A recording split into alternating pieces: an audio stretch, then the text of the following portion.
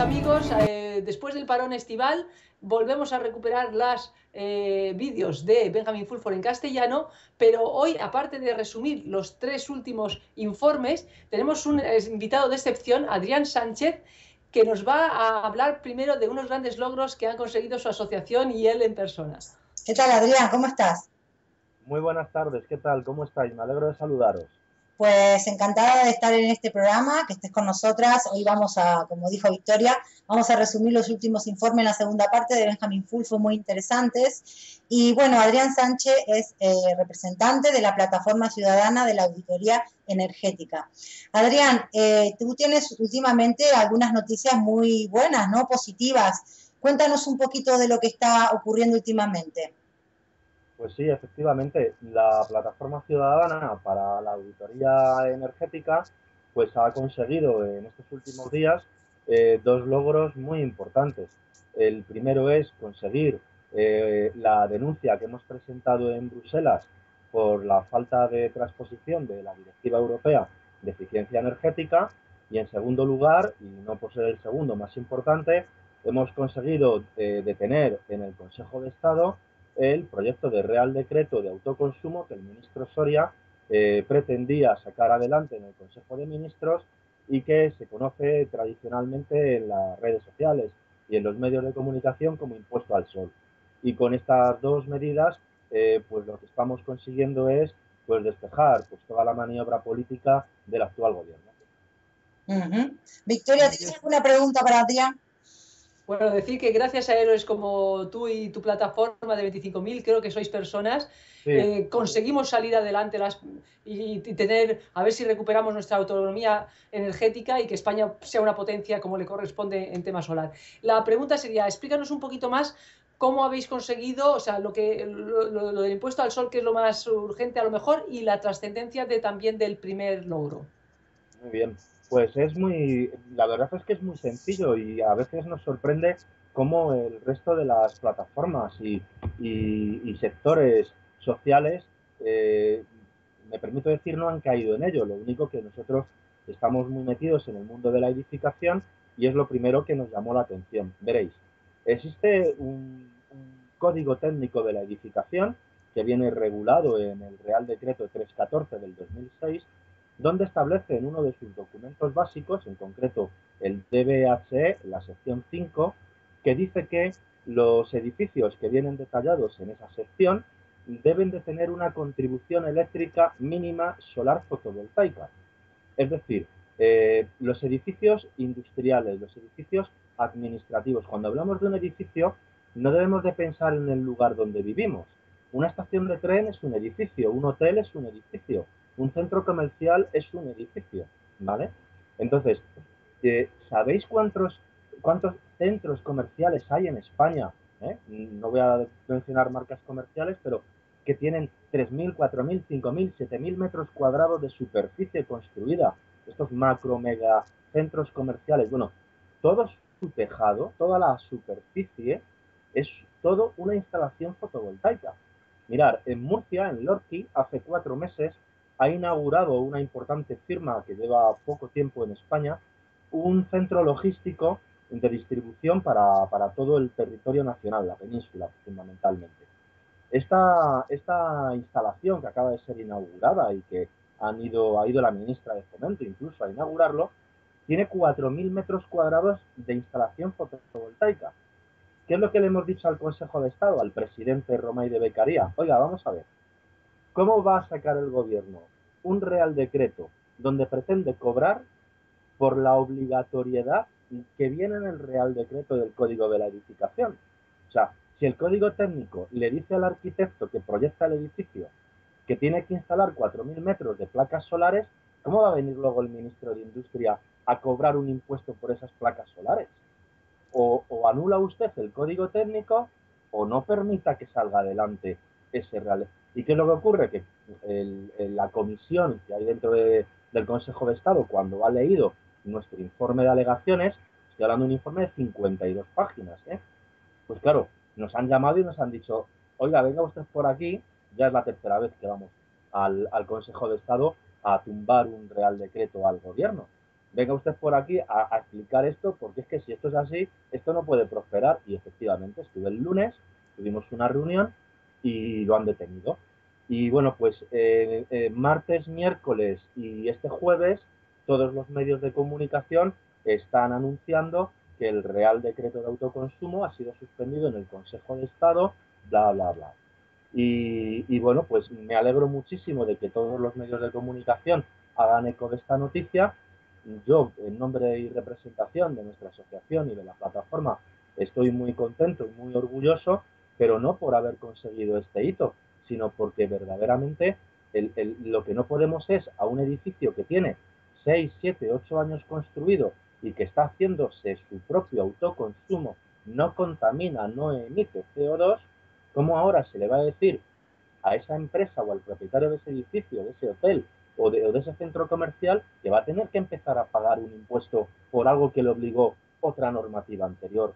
Entonces, eso se llama quebranto de ley. Entonces, claro, el Consejo estaba dicho, no, no puede ser.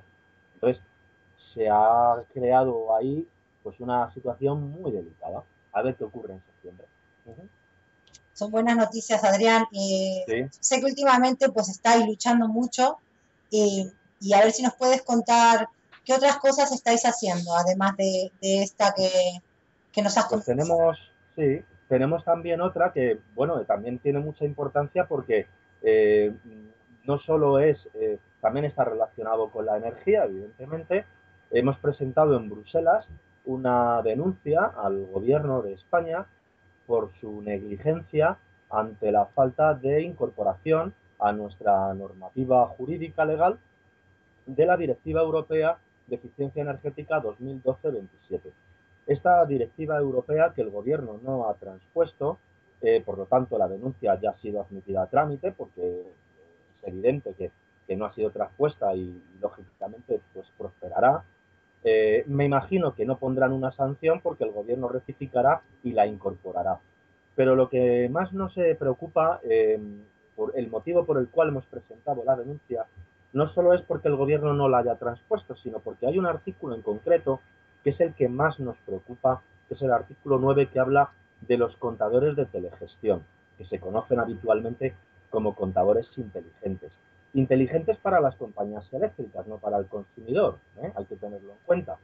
Ya hubo una comisión eh, eh, de salud y sanidad en el Congreso de los Diputados donde se rechazó una moción por la cual se pedía que ese contador de telegestión estuviera instalado en el domicilio de cada usuario consumidor.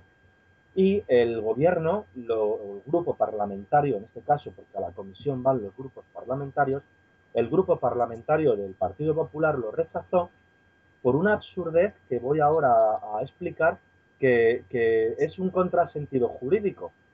El, el núcleo del argumento era que con eso se fomentaba el fraude, porque el usuario podía manipular el aparato. Entonces, primero, eh, el fraude es un delito. Ningún operario, ningún técnico de una compañía eléctrica puede determinar que ha existido un fraude. Eso lo hace un juez. O sea, eh, la manipulación de un aparato no es un fraude. Eh, eso lo tiene que presentar una denuncia a la fiscalía la fiscalía tiene que presentarlo en el juzgado y el juez es el que determinará si eso es un fraude. ¿Qué es lo que ocurre? Que están llegando recibos a usuarios de 1.000, 2.000, 3.000, 4.000 euros. Esto lo estaréis oyendo eh, la OCU, Facua, etcétera. Pero claro, ¿qué es lo que ocurre? Es que hay un real decreto que es, eh, em, eh, es el, el 217 del 2014 que se premia a las compañías distribuidoras con una comisión del 20% eh, en el caso de que detecte fraude.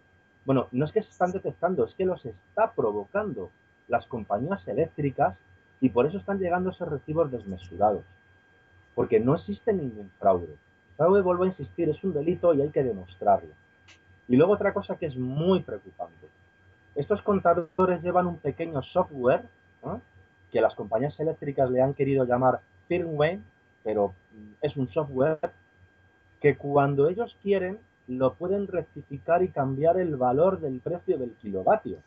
Cuidado con esto que es peligrosísimo. ¿Por qué? Y voy a poner un ejemplo. Si mañana hay una punta de calor en un determinado municipio, población o provincia, las compañías eléctricas van a, saber si se empieza a aumentar el consumo y van a desviar, como ahora la tarifa es por horas, la punta valle y la punta eh, eh, más alta la van a desviar al punto de mayor consumo. Por lo tanto, eso que están diciendo las compañías eléctricas de que tú te controlas tu propio consumo y tu propia energía es falso. No hay que poner una lavadora a las 5 de la mañana, porque cuando la compañía eléctrica sepa que ponemos un electrodoméstico reiteradamente a las 5 de la mañana, la tarifa más alta me la llevarán a esa hora. O sea que por eso son inteligentes, son muy inteligentes, sin lugar a dudas. Pero a mí como usuario no me beneficia. Y dos, que también es muy preocupante, como con la tarifas por horas, nos dice el gobierno, no, hay una página web. Mirad, mi abuela tiene 90 años, no sabe lo que es Internet, pero el contador lo tiene abajo, en un cuarto, que la llave la tiene un señor que viene de vez en cuando. Tiene que bajar mi abuela cada hora a saber cuál es el precio de las 11 de la noche, porque mi abuela no tiene Internet. Entonces, esto es un despropósito, esto está muy mal organizado, está muy mal preparado y ya han instalado 10 millones de contadores. Y luego ya no quiero hablar de los problemas de salud, porque son unos dispositivos que no tienen una reglamentación desde un punto de vista científico que pueda garantizar su inocuidad. Ya está demostrado, al menos aquí en Madrid, la Universidad Politécnica, por dos catedráticos, que emiten al orden de 120 a 150 veces las ondas de un wifi. Es decir, son radioactivos. O sea, los campos electromagnéticos que emite un solo contador es como un microondas cuando metes un plato para calentar pero con la puerta abierta, multiplicado por el número de contadores que haya en el cuarto. Es decir, podemos tener mini centrales nucleares abajo en el sótano de nuestro edificio. Esto es muy, muy preocupante. Muy preocupante. Por eso hemos puesto la denuncia en Bruselas y Bruselas la ha admitido a trámite. Ahora se abrirá el periodo de investigación y luego vendrá la, la fase del Tribunal Superior de Justicia Europeo, que ahí es donde ya o bien se le sanciona al Estado miembro, que en este caso es España, o se le obliga a incorporarla. ¿Qué problema nos encontramos? Y lo voy a hacer muy breve, que cuando le obligue la Unión Europea a España a incorporar esa directiva, el artículo 9 obligará a tener que cambiar esos 10 millones de contadores. ¿Quién va a pagar esa sustitución? ¿El usuario en su recibo de la luz? ¿O va a ser la compañía eléctrica que sabiendo que esos dispositivos no son homologados ilegales? Ahí tenemos otro grave problema de miles de millones de euros. Miles. Por lo tanto, son dos nuevos eh, récords, son dos nuevos eh, logros que ha conseguido la plataforma ciudadana, lo cual pues nos, da mucha satisfacción, pero hay que seguir luchando porque hay que concienciar a la, sociedad.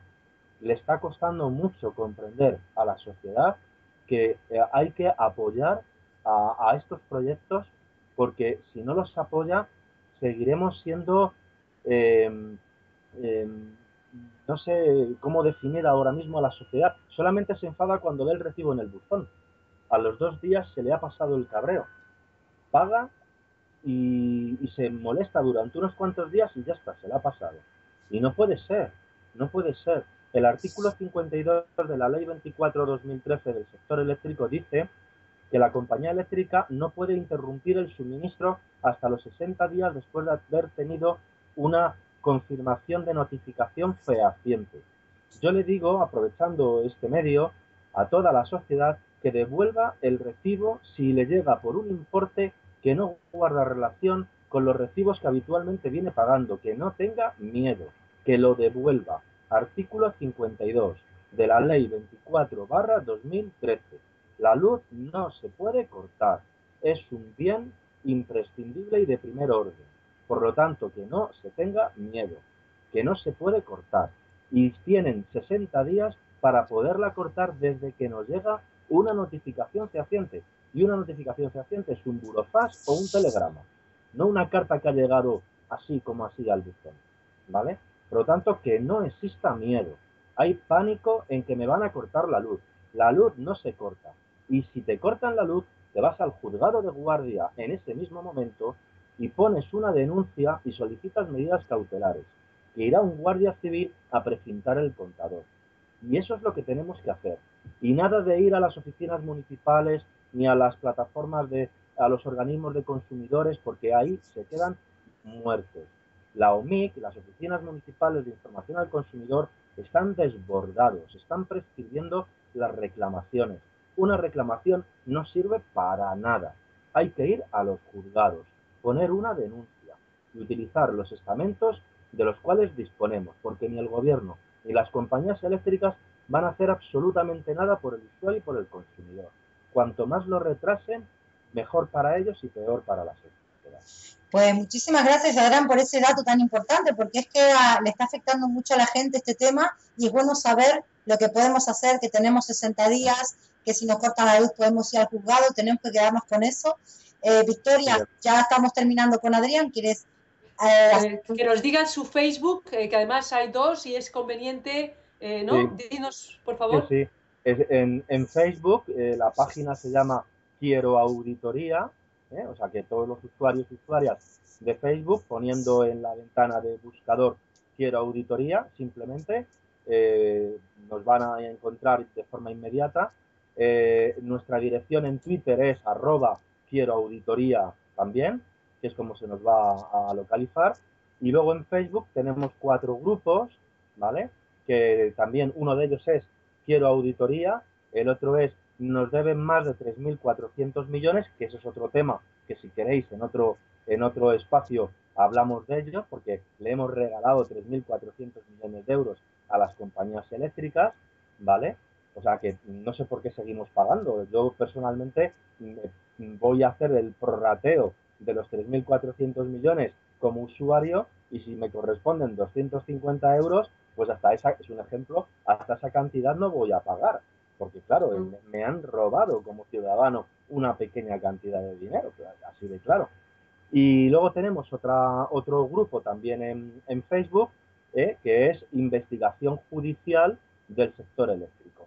¿Por qué? Porque además de la iniciativa legislativa popular, la ILP, que pasamos a trámite en el Congreso de los Diputados, eh, que eso es un aspecto desde un punto de vista legislativo. También nos estamos viendo a la parte judicial. Lo estamos denunciando en el Supremo, en el Constitucional. Ya os he comentado que lo hemos denunciado en Bruselas.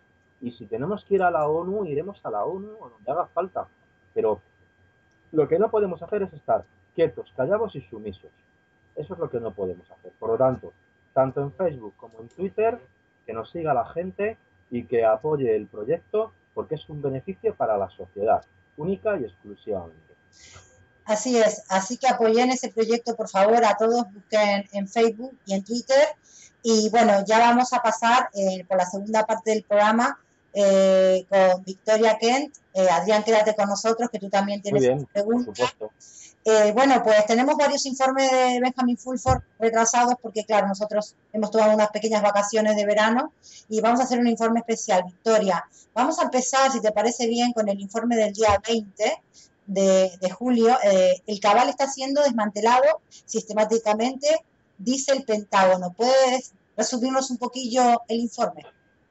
Bueno, dentro de lo que Benjamín nos reporta que está cayendo lo que es el poder de los sionistas y que tiene mucho que ver también con el nazi de Bush y ciertas eh, secciones norteamericanas, eh, hay varios eh, pasos que se están dando. el acuerdo entre Rusia, Inglaterra, China, Francia, Estados Unidos, Alemania e Irán para darle precisamente a Irán el derecho de desarrollar su energía nuclear ha sido fundamental. Ha levantado las iras del señor Netanyahu y de toda su comunidad porque era precisamente su gran caballo de batalla para victimizarse, para crear incluso una tercera guerra mundial, eh, junto con Siria, como sabéis. Entonces, que se le haya escapado esto, eh, para ellos ha sido una derrota, se están quedando aislados eh, internacionalmente y lo están empezando a verse, que eso es algo más complicado porque ellos dominan las multinacionales y como bien decía el compañero antes, casi todas las periódicos tienen un gran anuncio de alguna multinacional sionista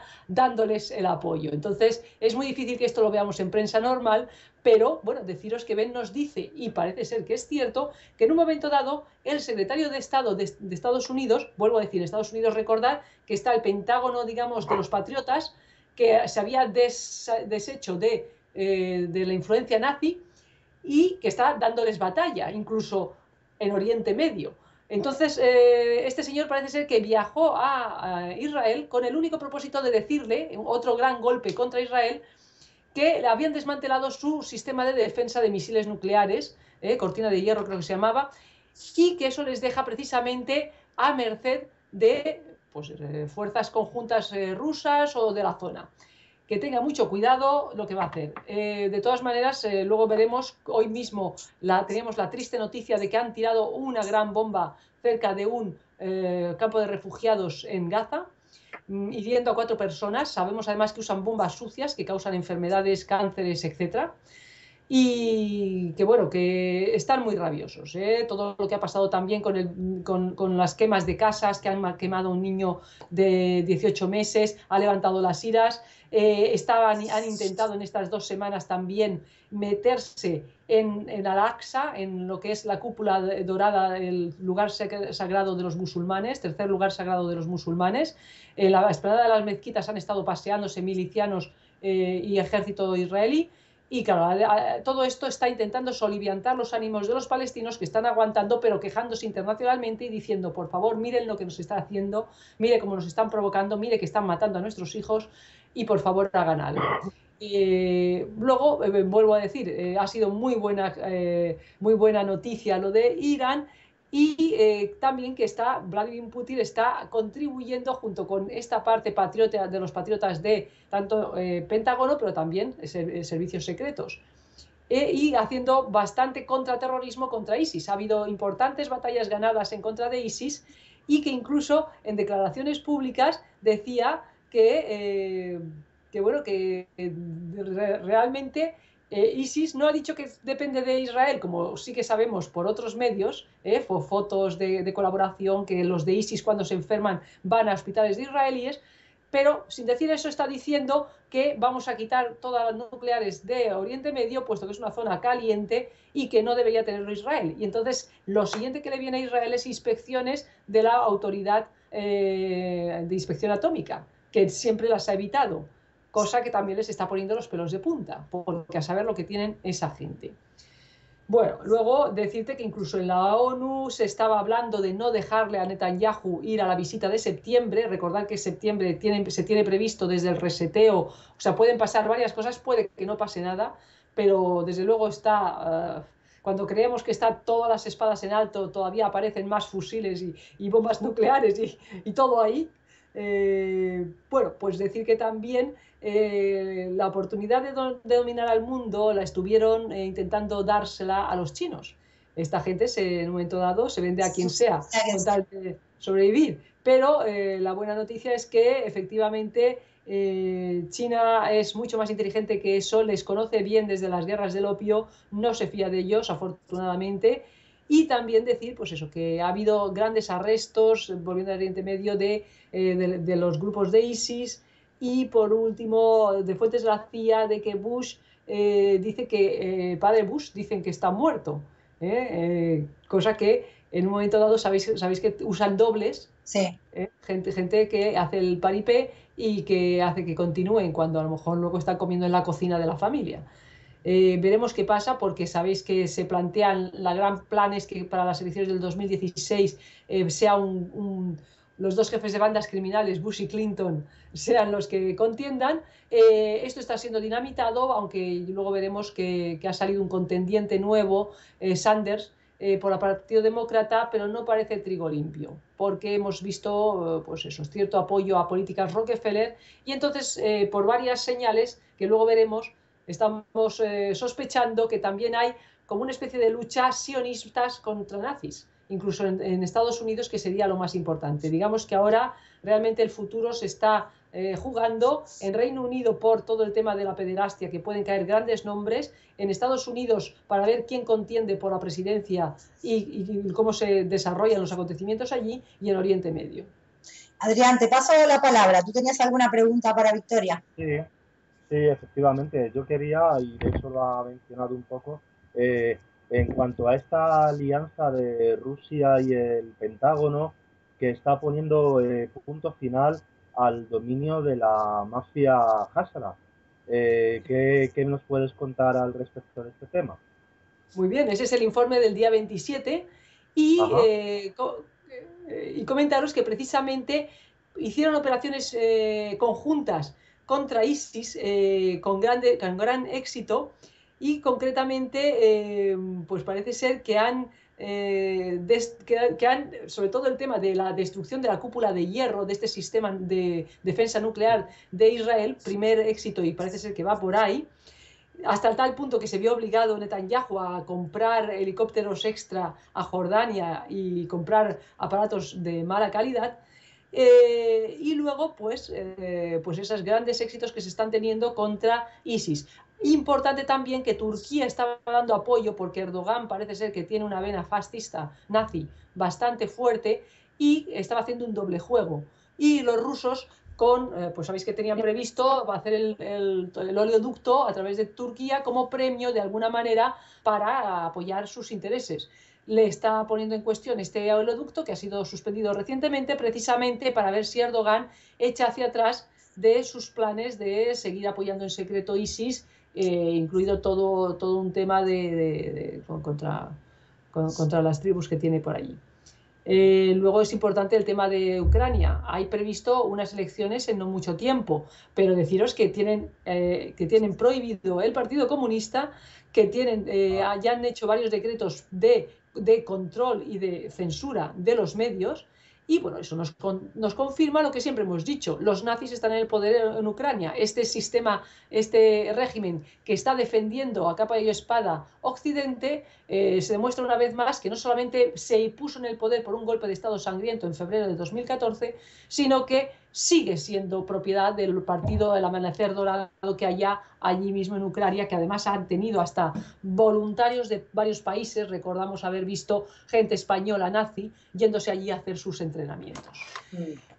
Eh, ese es otro punto caliente porque siguen utilizándolo con respecto sobre todo también a mm, lo que es el vuelo de Malasia que ha sido noticia últimamente porque apareció un alerón eh, sabéis que eh, los que hemos investigado y también por las informaciones de Benjamin Fulford, lo que hicieron fue robar el avión número 777 de, en el Pacífico de Aerolíneas Malasias, que fue el mismo que luego usaron para eh, escenificar un, misil indefinido que querían atribuir a Rusia o a los prorrusos, que fue el que supuestamente acabó con este con este avión. Luego resulta que eran todo cadáveres de la morgue, lo que habían ahí dentro. El, comité de investigación de ese, de ese, accidente aéreo o de ese, de ese atentado aéreo resulta que incluía a Ucrania, que es una de las partes, pero no incluía a Rusia.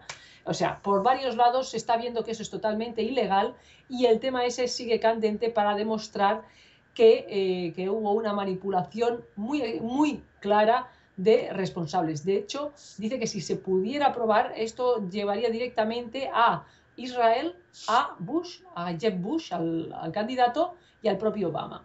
¿eh? Entonces, pues es un tema importante que se siga y que se pueda en un momento dado juzgar.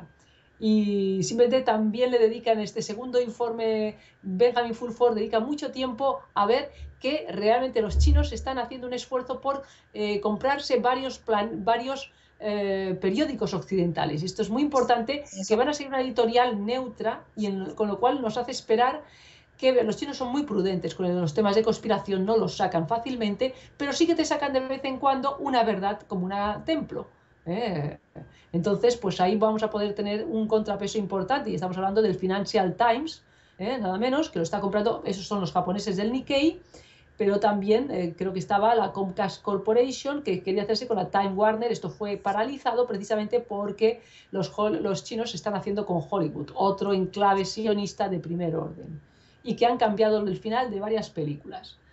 Eh, el Economist también es otro de los periódicos que de los Rothschild en este caso que estaba siendo vendido a los chinos porque obviamente como no tienen dinero ya tienen que empezar a vender las joyas de la corona y, bueno, pues eso fundamentalmente es muy interesante la caída de Sir Jewel, eh, de la Cámara de los Lores británica, que, cuyas fotos inhalando cocaína con prostitutas eh, puede hacer que caiga también todo Tony Blair y gente de mayor nivel. Y de hecho eso une con ciertas informaciones que están dándonos a entender que esa guerra que hemos dicho nazi-sionista no solo ocurre en Estados Unidos, sino también en Reino Unido. ¿eh? Pues Victoria, seguimos con buenas noticias, ¿no? El último informe de Benjamín que fue día 4, eh, que se titula Complot terroristas frustrados de los pájaros, proliferan los rumores de arrestos el día 8 de agosto. A ver, cuéntanos, porque eso, eso es muy buenas noticias. Ojalá y Dios quiere que pase. Vamos a ver, rumores son rumores, los ha habido varios y aunque es de lógica que en algún momento suceda, eh, si este mundo es como debe ser y, está, se supone, eh, empoderándose la humanidad, eh, esto sería mañana. O sea, si mañana tenemos noticia de que ha habido arrestos a alto nivel por presión de los chinos sobre el Pentágono, pues habremos dicho que Benjamin Fulford realmente tiene información de primera. Pero aunque no sea información de primera, y él lo pone entre paréntesis, lo que sí nos cuenta que un científico nuclear iraní que se cree que es Keshe, eh, se eh, dio la voz de alarma de que había un plan secreto de los házaros de coger, simular varios secuestros de aviones eh, de pasajeros y dirigirlos hacia distintas centrales nucleares de Irán. Este ataque, que hubiera sido simulado como un ataque islámico, ya ves tú, contra, contra el Estado de, Irán, eh, pues hubiera sido un gran paso a su favor para precisamente eh, pues demonizar, seguir demonizando que nadie tenga nucleares más que ellos. Sí, ¿eh? Entonces, esto parece que, se pasó la voz a los servicios secretos y que ese, ese, tema fue desapareció. De hecho, dicen que la aparición del ala del Boeing realmente era una maniobra para ocultar esta gran masiva desaparición de aviones que querían hacer.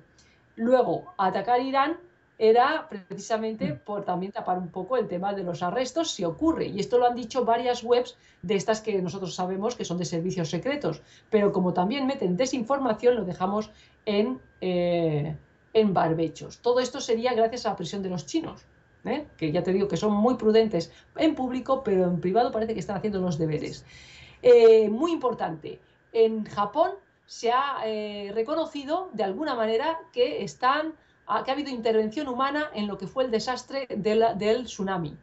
Recordar que Benjamin Fulford tenía la tesis muy bien fundamentada y apoyada de que fue una bomba nuclear puesta en el lecho marino orientada solo hacia Japón, que de hecho varios sismólogos lo han dicho. Se esperaba que si eso era un, un sismo, llegase un tsunami parecido a Hawái. Nunca llegó. Obviamente, entonces, aquí hay una serie de cosas, junto con las pautas de, sísmicas que no son iguales para un caso que de un terremoto natural que de una bomba atómica, y que pues ahí hay, si se quiere investigar, mucho campo. Tres eh, ejecutivos de, de Tokyo Electropower. Pues eh, concretamente, eh, la buena noticia realmente es que en un tribunal japonés se ha puesto en cuestión el terremoto y tsunami de Japón del 11 del 3 del 11 y que hay tres ejecutivos de Tokyo Electric Power que a los que se les han presentado ya cargos criminales y que esto puede conducir también a gente más alta como Benjamin Netanyahu, Tony Blair, Rockefeller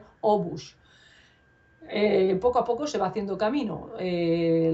la, guerra que hay en Inglaterra, eh, vuelvo a decir, eh, que también ahí te hace entender que hay fricciones, están acusando de nazi a la reina de Inglaterra, pero es que, vuelvo a decir, quien ha controlado siempre la City son los sionistas y, y la economía, los Rothschild, en el fondo. Entonces, mucho de lo que estamos oyendo luego en prensa, el Sun, es de la Fox, que la Fox es también Rockefeller, amiguete de los sionistas, son luchas entre estos dos grupos, cosa que no deja de ser interesante seguir y buena noticia.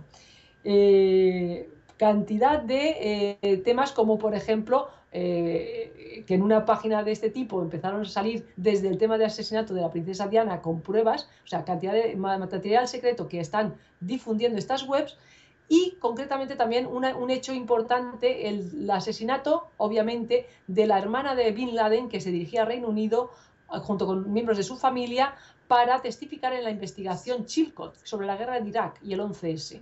¿eh? Y parece ser que iba a testificar que nada menos que la reina de Inglaterra, una de sus cuentas fue utilizada para financiar a los terroristas cosa que amplía el abanico, siempre hemos dicho los árabes, los de Arabia Saudí, el Mossad, claramente implicados, pero si ya entra la reina de Inglaterra, esto es ya mucho más grave. y como escándalos sexuales pueden seguir haciendo caer eh, gente importante, concretamente el ex primer ministro Edward Heath en el punto de mira, ¿eh? y ahí va, y nos pone el enlace del Telegraph, eh, y entonces, pues vuelvo a decir, todo esto va avanzando poco a poco y se verá los frutos en su momento si tiene que ser. Luego la caída de Puerto Rico que se ha dado por bancarrota, que no es más que una señal de que eh, la corporación de Estados Unidos también está en quiebra y la parón económico de China, que no es un parón tanto como que tiene que reinventarse para no seguir eh, vendiendo materiales baratos que copian ese esquema está ya perdido porque la gente ya no tiene para comprar o ya ha comprado todo lo necesario. Entonces se tiene que reinventar económicamente y va a ser interesante seguir este, este, esta, este camino de que sin duda sabrán hacer los chinos. Pues más información tienen en el blog de Victoria, Benjamín Fulford en castellano, ahí están todos los informes. Y, y, pues muchísimas gracias Victoria por haber interrumpido tus vacaciones para hacer este informe. Gracias Adrián Sánchez por tu participación con nosotras. Te esperamos cuando, siempre que quieras. Estás invitado a nuestro programa, ¿vale? Muy interesante el día, ¿eh? la jornada. Me ha gustado mucho. Me he quedado de piedra. Muchísimas gracias. Me he quedado asustado. es lo que tiene. Es lo que tiene los informes de full porque hay tanta información que hay que ir digiriéndola poco a poco. Sí, esto hay que suministrarlo en dosis. Pues os mando un abrazo y pues y hasta la próxima. Muchas gracias. Hasta la próxima. Gracias a vosotras. Un saludo. Feliz un saludo. Gracias.